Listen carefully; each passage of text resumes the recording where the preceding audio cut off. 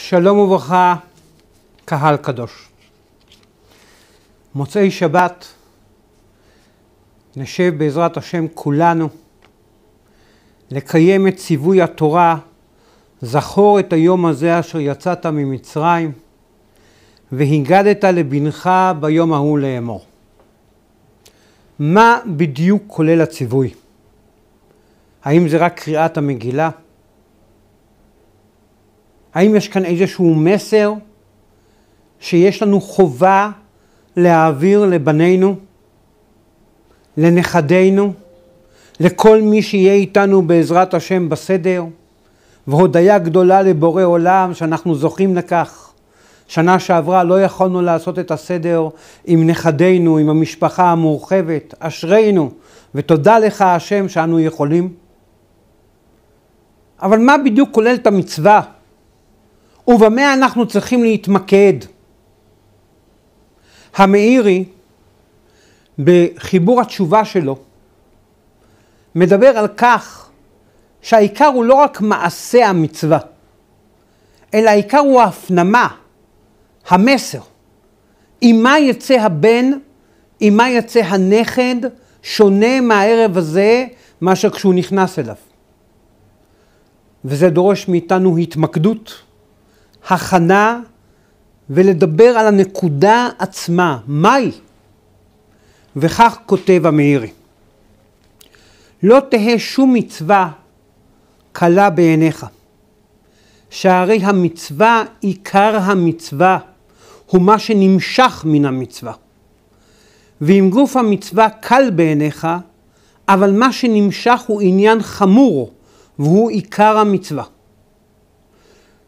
וכן המשל, מצוות עשה לספר ביציאת מצרים, והגדת לבנך, ולקיים מצווה זו אנו קוראים נוסח ההגדה, וזוהי מצווה קלה, אלא שהיוצא ממצווה זו היא לקבוע בלבבות דעת אמיתי.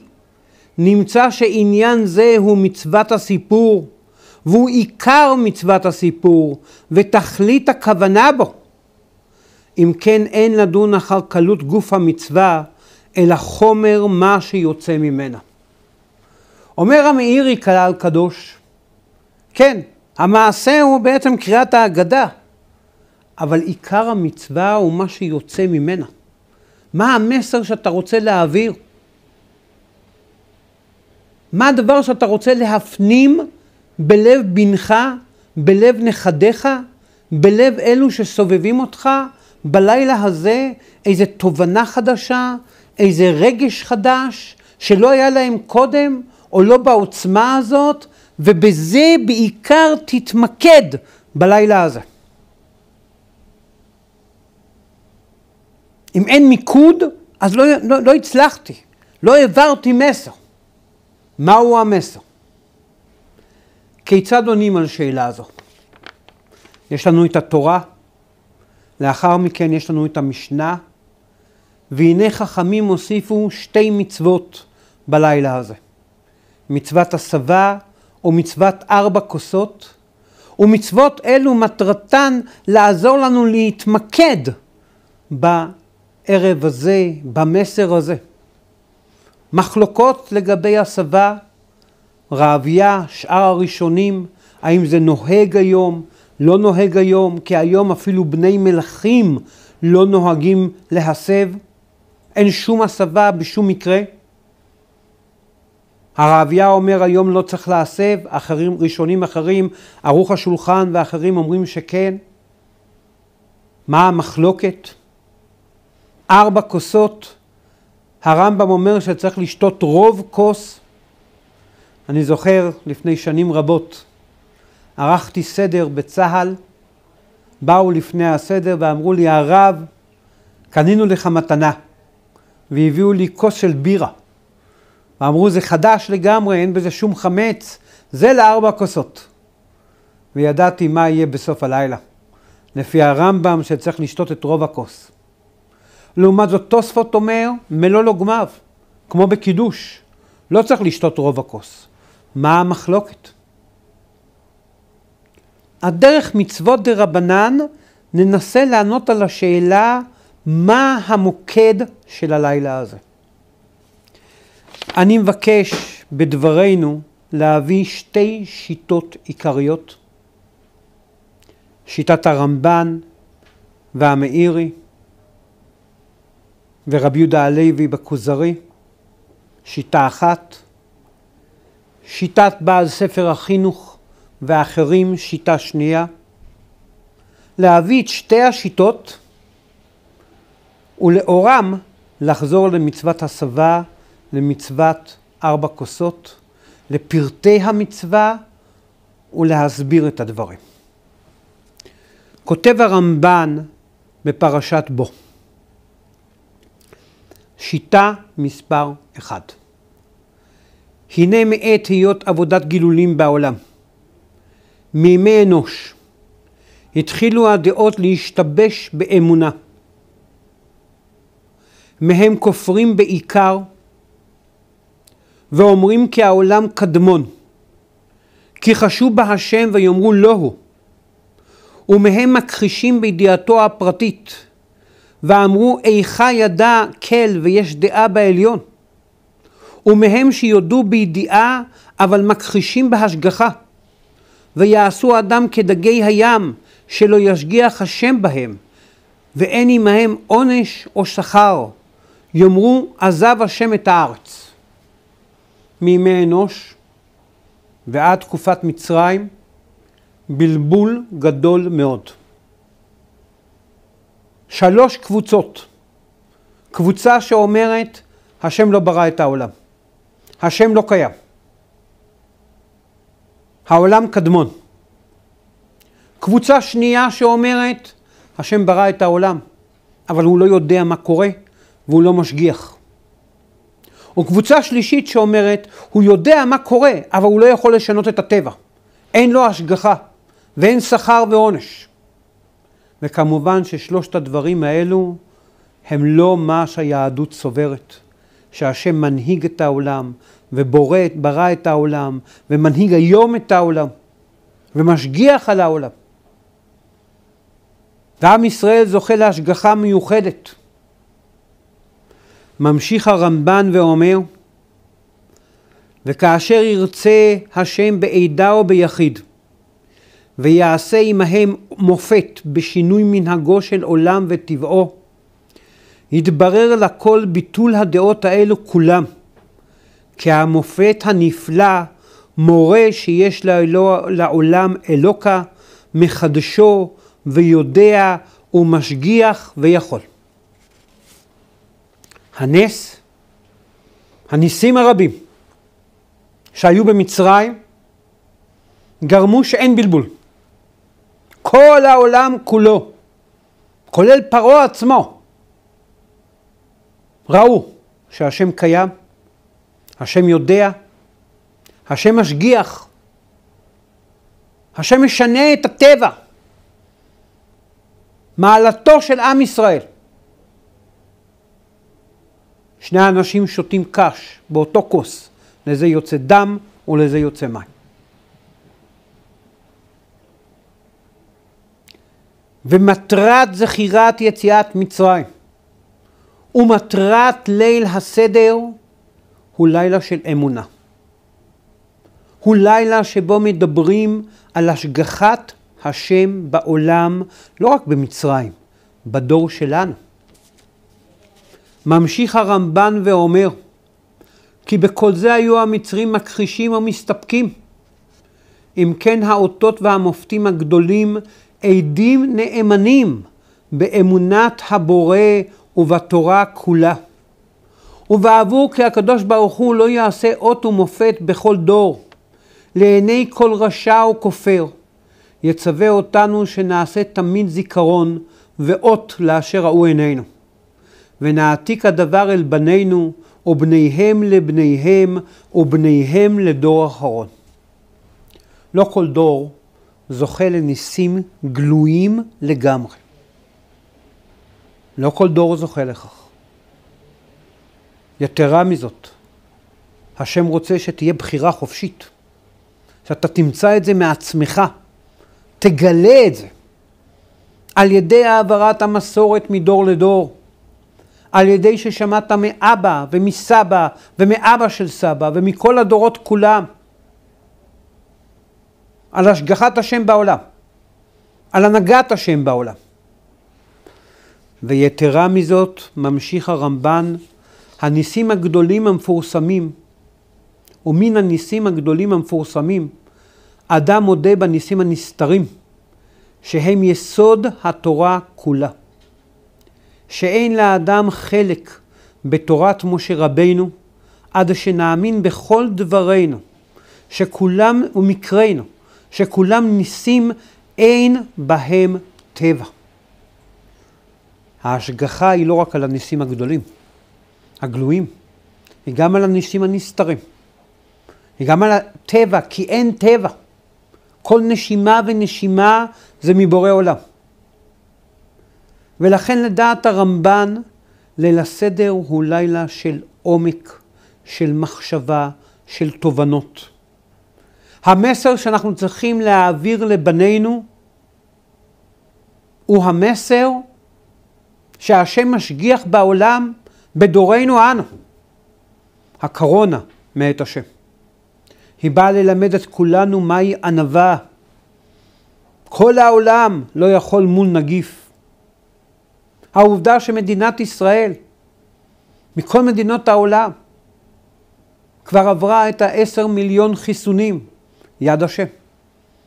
ולראות בכל דבר את יד השם. לא לשאול למה, אבל כן לשאול למה. ולכן לדעת הרמב"ן, הלילה הזה הוא לילה של מחשבה, של עומק. הבן צריך לצאת עם השגחה שהשם מנהיג את העולם. והשם קיים. ובני ישראל ראו את השם. המאירי, כשאמר שהעיקר הוא לא קריאת ההגדה רק, אלא מה שנמשך מאחוריה, המסר, ההפנמה. המאירי כותב, והוא האמנת הנפלאות ושינוי הטבע ברצונו יתברך. רבי יהודה הלוי כותב ספר יסוד במחשבת ישראל, הכוזרי. והיינו מצפים שהספר כולו יעסוק רק ברעיונות ומחשבות. אבל הספר מתחיל בסיפור. סיפור על מלך כוזר, שבלילה באים אליו, ולילה אחר לילה השם בא ואומר לו, כוונתך רצויה אצל הבורא, אבל מעשיך אינם רצויים. והוא מזמין את הפילוסוף ואת הנוצרי ואת המוסלמי, וזורק את שלושתם מהארמון, כי התשובות שנתנו לא משכנעות את מלך כוזר. ומכיוון שגם הנוצרי וגם המוסלמי דיברו על שההתחלה הייתה יהדות, הוא מחליט להזמין את החבר, ואומר לו, במה אתה מאמין? תחשבו, אם אנחנו היינו צריכים בשתי דקות או בדקה לנסח את התעודת זהות האמונית שלנו, מה היינו אומרים? בוודאי היינו מתחילים בכך שהשם בורא עולם. אבל החבר מתחיל ואומר, אנחנו מאמינים באלוקי אברהם, יצחק ויעקב, המוציא את בני ישראל ממצרים, באותות ובמופתים ובמסות, והמכלכלם במדבר, והמנחילם את ארץ כנען אשר העבירם את הים והירדן במופתים גדולים. הוא מדבר על הניסים. ומלך כוזר גם אותו רוצה להוציא מהארמון. ואומר מלך כוזר, מסכים הייתי שלא אשאל יהודי, מפני שידעתי עיבוד זכרם וחסרון עצתם, כי השאלות והדלות לא עזבו אותם, מידה טובה. היה לך לומר יהודי כי אתה מאמין בבורא עולם, מסדרו, מנהיגו או מי שברכה. מה פתאום אתה מתחיל מהאמצע? סימן שהדלות שיבשה אותך. והחבר מסתכל למלך כוזר ואומר, אתה לא מבין. אתה מחפש דת היקשית, דת שבנויה על רעיונות, על פילוסופיה. אתה יודע למה התחלתי ביציאת מצרים או בניסים, או בהתגלות השם לאברהם, יצחק ויעקב, שהייתה כה מפורסמת? למה לא התחלתי בבריאת העולם? כי בריאת העולם איש לא ראה. אבל אברהם שומע את השם. יצחק שומע את השם. יעקב שומע את השם. עם ישראל כולו רואה את הניסים ושומע את השם בעשרת הדיברות. באנוכי השם אלוקיך, בתחילת עשרת הדיברות. הדת שלנו מבוססת על ראייה, ולכן אין שאלות. זה לא דבר שאפשר לתת בו ספיקות. עם ישראל ראה את השם דרך הניסים. זו הדת שלנו. דת שמבוססת על עובדות. ואת זה צריך להעביר בלילה הזה.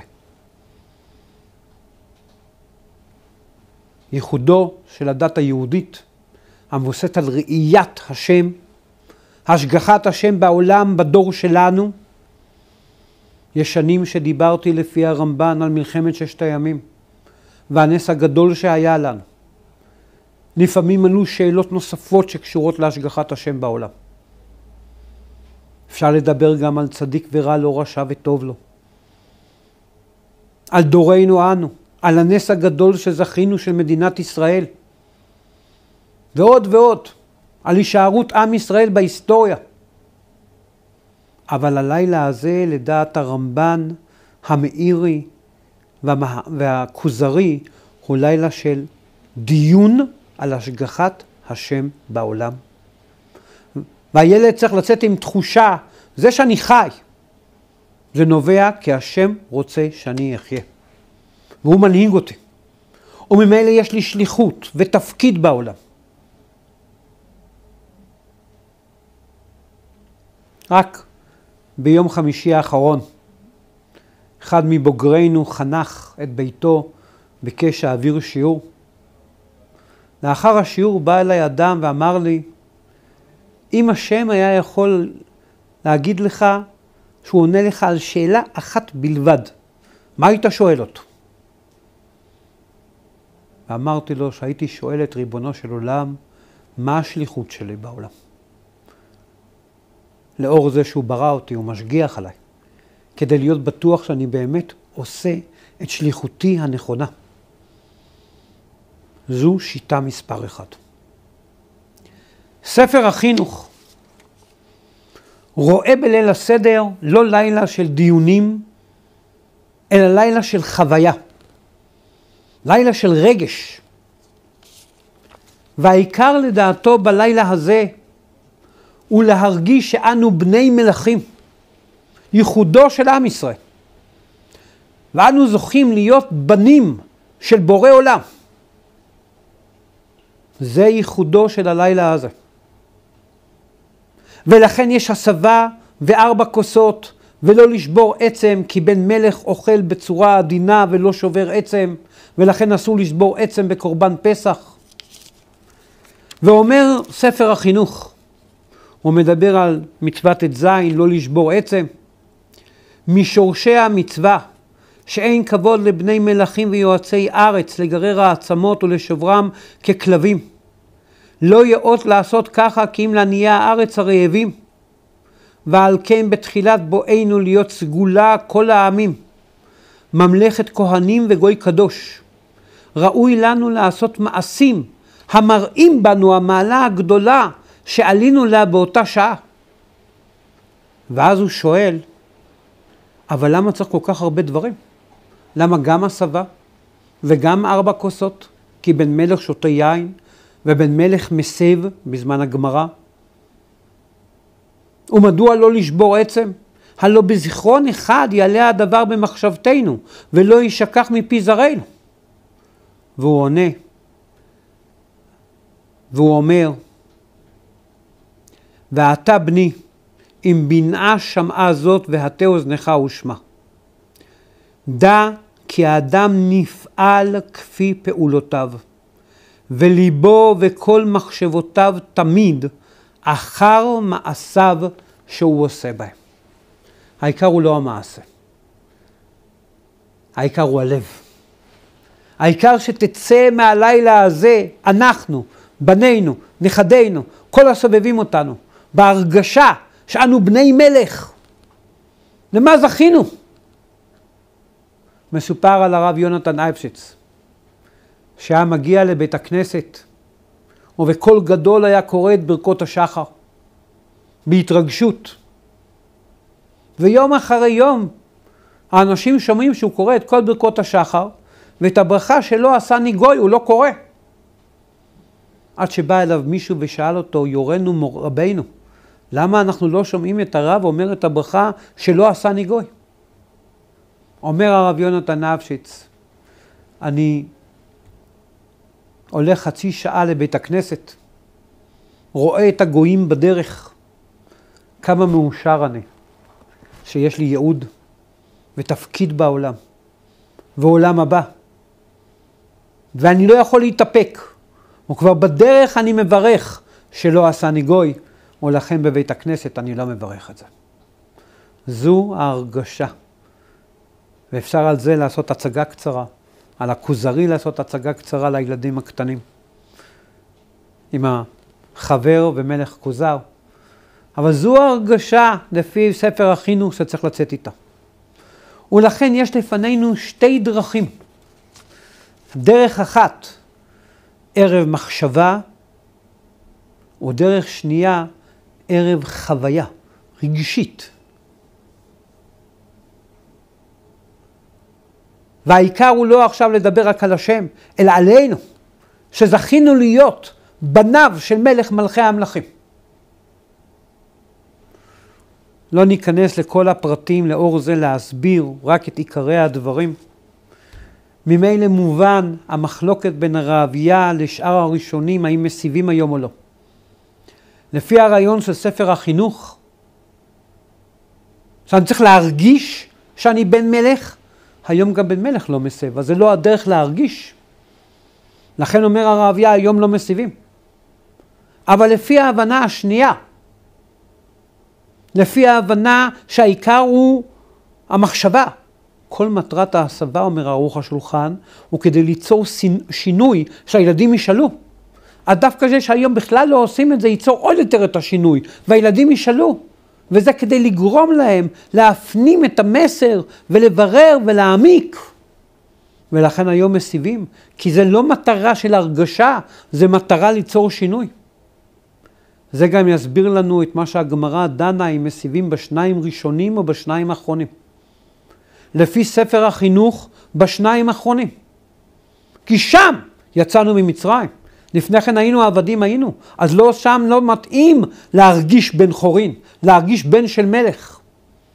בשניים האחרונים, שם יצאנו ממצרים, הלל, נרצע, שם מודים להשם, שם מסיבים. לעומת זאת, לפי ההבנה שכל מטרת הערב, גם בגנות, כל מטרת הערב היא לעסוק בהשגחת השם ולהבין שגם השעבוד בא מהשגחת השם, אז אני מסב בשניים הראשונים. ולכן כשהגמרא פוסקת שמשיבים בכל הארבע, ולא אומרים פה את הכלל סספקא דרבנן לכולה, כי זה לא אותם הסבה, שניים ראשונים והשניים האחרונים. שניים ראשונים זה הצד השכלי, שניים אחרונים זה הצד הרגשי, והגמרא פוסקת שצריך גם את השכל וגם את הרגש. זה יסביר לנו את המחלוקת לגבי הארבע כוסות. הרמב"ם מבין שמטרת הארבע כוסות היא חירות, להרגיש בן של מלך, לכן צריך לשתות רוב כוס מכל כוס. לעומת זאת, ההבנה השנייה מבינה שהעיקר הוא הדיבורים, העמקה, לא הרגשה. לכן זה דומה לקידוש של שבת, שמטרת היין הוא ליצור מעמד של מחשבה והתבוננות. כי הרי מדאורייתא מספיק להגיד שבת שלום, או לדבר על ייחוד השבת בלי כוס, אבל רבנן רצו ליצור לזה מעמד, והעיקר הוא לא השתייה, לכן מספיק מלוא לוגמיו. זה יסביר את ההבדל בין בן לתלמיד בהסבה לפי כל שיטה ושיטה. לפי שיטה אחת, כך מסביר הרשב"ם, בין מרגיש חירות ליד אביו, ותלמיד לא מרגיש חירות ליד רבו, בעיקר בזמן הגמרא שהיה דיסטנס גדול מאוד. ושוב, זה עניין של הרגשה. לפי השיטה השנייה, שזה עניין לא קשור להרגשה, בין האבא מוחל, והחידוש הוא שהוא מוחל גם על מורה, ואילו בתלמיד האבא לא מוחל, הרב לא מוחל. יהי רצון שאכן נזכה, כמו שכותב המאירי, לא רק לעשות את המצווה, אלא לעשות את מהות המצווה, להעביר את המסר. ונדע לכלכל ולהכין השבוע הזה לליל הסדר, נדע לעשות את הדברים בצורה שיהיה גם את הצד המחשבתי של ייחוד השם בעולם והשגחת השם בדורנו אנו, בקיומה של מדינת ישראל, בהשגחת השם על עם ישראל, בחיסונים הרבים, בענווה הגדולה שלימדה הקורונה. ונדבר על כל זה ונדון על כל זה. וגם נצליח לתת לילדינו, נכדינו וכל הסובבים ואותנו את ההרגשה שלא עשני גוי. את ההרגשה שאנו בנים של מלך. והשילוב של השניים מחייב שנרגיש שאנו עושים את שליחותנו בעולם ומקדשים שם שמיים. ונצליח כולנו להתרומם מהלילה הזה לכל השנה כולה, הן בצד השכלי, הן בצד הרגשי, הן בצד של שליחות החיים וקידוש שם שמיים, אמן כן יהי רצון.